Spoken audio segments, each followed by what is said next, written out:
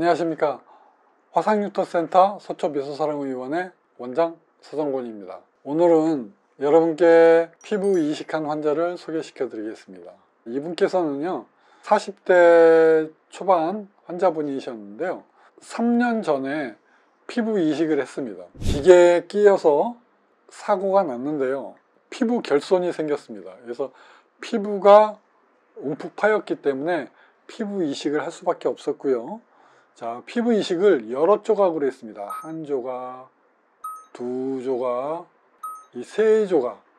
세 번의 피부 이식 수술을 받았어요. 흉터가 좀 많이 남았네요. 우퉁부퉁하죠. 쭈글쭈글하고. 이분께서 지금 현재도 가려움증이 좀 있습니다. 아, 이렇게 흉터가 남게 되었는데 이런 흉터가 남은 상태에서 제가 치료를 했습니다.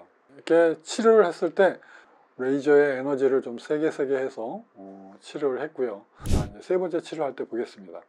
여기 보면 레이저 자국이 있죠. 많이 빨갛죠. 구멍이 빨갛게 나 있습니다. 자 그래서 전체적으로 붉은색을 띠고 있습니다. 자 이렇게 되어도 걱정을 하실 필요가 없습니다. 나중에 지나가면 이러한 붉은 레이저 자국은 다 없어집니다 이제 네 번째 치료를 할 때 가보시죠. 세 번째 치료할 때보다 흉터가 굉장히 매끈해졌죠. 아주 아주 매끈해졌습니다. 치료가 잘 되어 가고 있고요. 좋은 현상입니다. 만족스럽지만 아직도 갈 길이 좀 멀고요. 치료를 좀 잘 해야 되겠습니다. 자 그리고 나서 이제 여섯 번째 치료를 가겠습니다. 자 보면 요 밑에 아직도 많이 쭈글거리죠. 쭈글거리는 게 요 밑으로 있습니다. 팔꿈치 관절 밑으로가 좀 많이 쭈글거리죠. 요거를 쭈글거리는 거로 제가 한 번 더 하자고 그랬습니다. 이분은 사실은 치료에 협조가 잘 된 편은 아니지만 제가 아주 사정을 했어요. 한 번 더 하자. 왜 그랬냐면 저는 환자의 흉터를 어떻게 하면 조금 더 좋아지게 할까? 만약 확실하게 좋아질 수 있다는 확신을 제가 갖게 되면 환자한테 자꾸 더 하자고 합니다.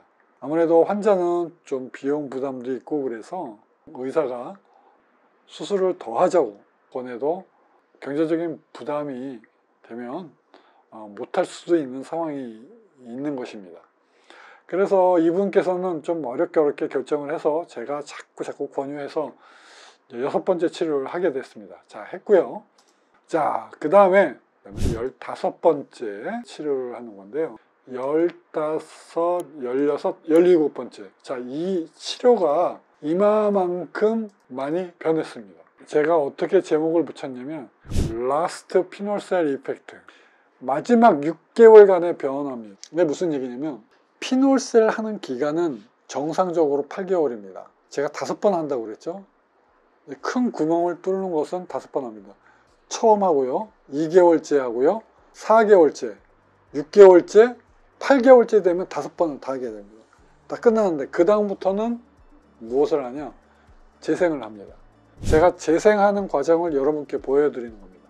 마지막 last 6개월 마지막 6개월의 변화가 이렇게 됩니다. 좌에서부터 우로 가는 것의 변화입니다. 이 흉터의 변화들이 이렇게 생기는 것입니다. 병리학적인 사고방식으로 상처의 치유 과정을 잘 겪도록 유도를 해주면 이렇게 피부가 바뀌어요. 흉터가 자꾸자꾸 더 없어집니다. 이게 재생의 효과입니다. 마지막 피놀셀의 효과예요. 처음에 구멍을 뚫는 피놀셀 치료뿐만이 아니고 이 재생하는 과정까지 포함을 해서 피놀셀입니다. 이 과정이 굉장히 더 중요하다. 이렇게 유도를 해주는 겁니다. 유도를 못하면 여기에서 끝나거나 되돌아갑니다. 제가 rebound phenomenon이라고 어, 설명을 계속 드리죠. 끝까지 치료를 하지 않으면 되돌아갈 수 있습니다. 수. 그렇기 때문에 제가 이제 끝까지 치료받으세요 할 그때까지 치료를 받아야 됩니다. 이 치료가 중요합니다.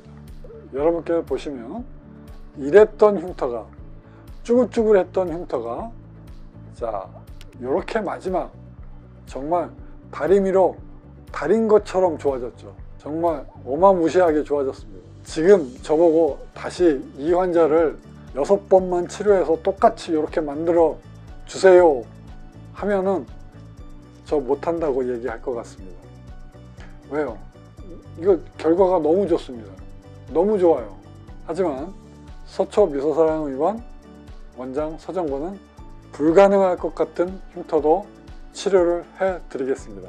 화상흉터센터 서초 미소사랑 의원 원장 서정권이었습니다. 감사합니다.